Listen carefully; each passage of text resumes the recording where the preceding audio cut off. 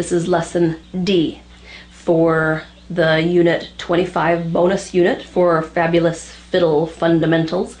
And we're just going to quickly discuss the key of C major and C pentatonic. Um, it's nothing really new. I think we've covered this before in this course, but we're going to go through it again. Um, C major has how many sharps and how many flats? Zero. I, I know you got the answer right. And can you tell me what the relative minor is for C major? This would be the minor key that does not have any sharps or flats either because they share the same DNA. Remember, they have the same key signature. A. You're right, A minor. So let's cover C major and starts with third finger on the G string. That's your lowest C that we have. And with this scale, it's really no problem. You've just got some low twos. No, no big deal. Okay, let's try it. Bum, bum, bum, about like that. Ready, set, go.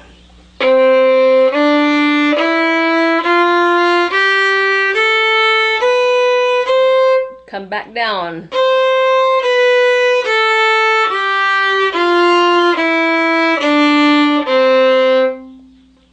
Now can you remember how to make an arpeggio from that scale? You play what scale degrees to make an arpeggio? You play one, of course. Then you skip one and you play three. Then you skip one and you play five. Okay? And with this scale, it's really easy. Three, one, three. Try it with me and let's play the top C as well. So we'll end up going.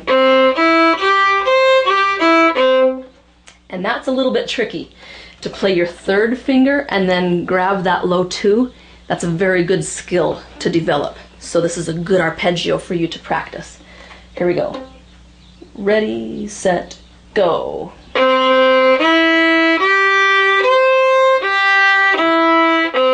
Let's do it again. Ready, go.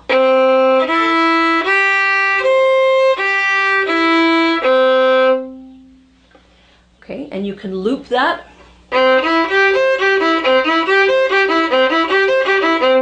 Practice it however you want to, but really get good at doing that third finger and low two. Okay, so that's C major. Why don't we go ahead and show you the top octave, just because we have the time.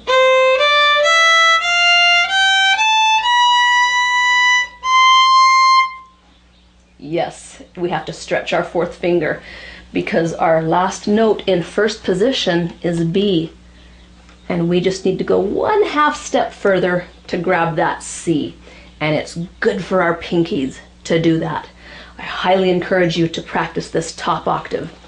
Not only does it help develop your pinky, but it also gets you a little bit of practice playing that low one, that F natural on the E string. You don't have to play low one anywhere in backup and push, but it is coming very soon for you where you'll have to learn how to play low ones on all the strings. So this is a really good scale to develop some new coordination skills. Let's play it together. Um, we'll do every note two times like this. Okay?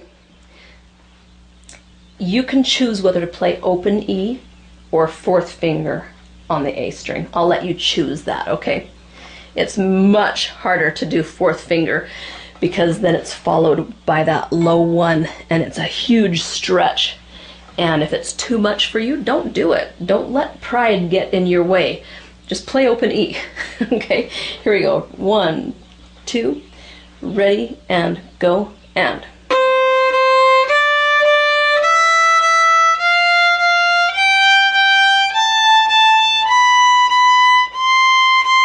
Repeat the top note.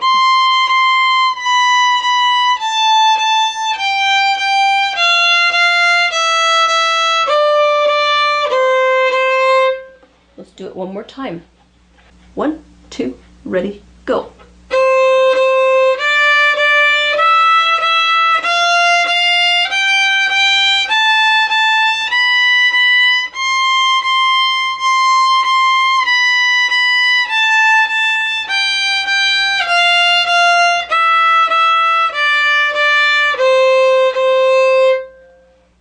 Okay, do you want to know the arpeggio for that one? It's a stretchy four.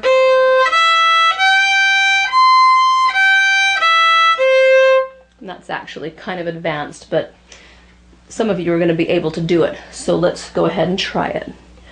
To E to C. Ready, set, go.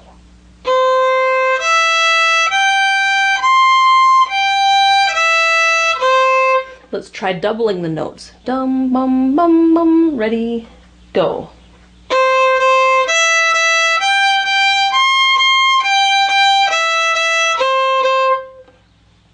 Okay, so that's a really good scale to help break you through into a little bit more advanced playing level. Okay, but it is optional. If you're overwhelmed, don't do it yet. Now, of course, you can glue those two octaves together.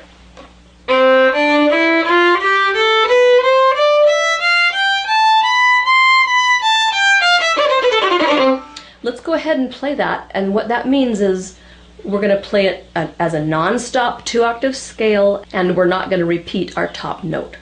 Okay, let's try it. And you can practice this doubling the notes or doing whatever you want to do, but we're just going to play it single notes and do not repeat the top note. Here we go. One, two, ready, go.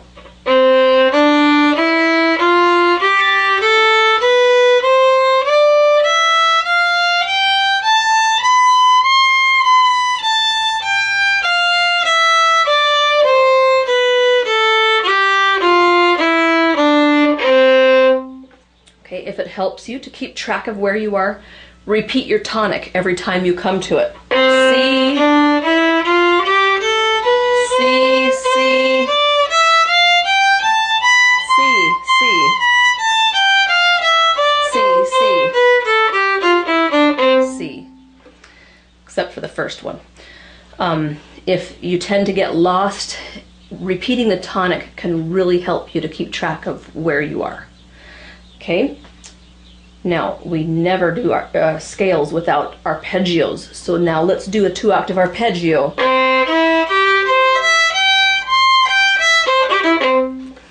You ready? Watch my fingers. Ready, set, go.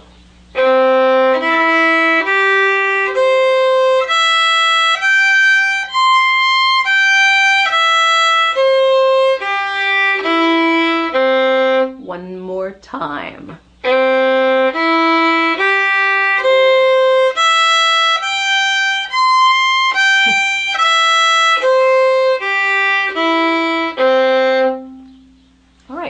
Now let's just quickly review what a C major pentatonic is. Okay, it's only got five notes instead of seven. We're missing our fourth scale degree and our seventh scale degree. What that means is you're not going to have any F's or B's.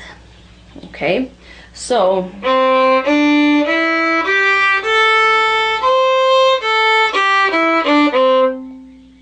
so no first finger on the A string and no second finger on the D string.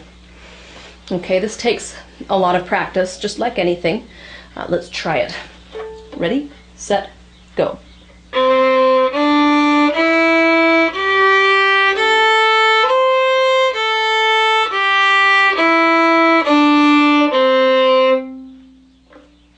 That scale is very helpful when you're trying to um, do an improv solo if you know backup and push is in C pentatonic, and you can just noodle around with the C pentatonic scale and add a little bit of a swing rhythm, and you're in business.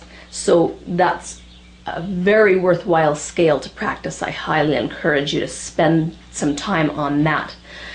All right, and that's it for our scale lesson. Next lesson, we're going to talk about the chord chart that goes along with backup and push and we'll drill a few common tone fingerings. I'll see you there.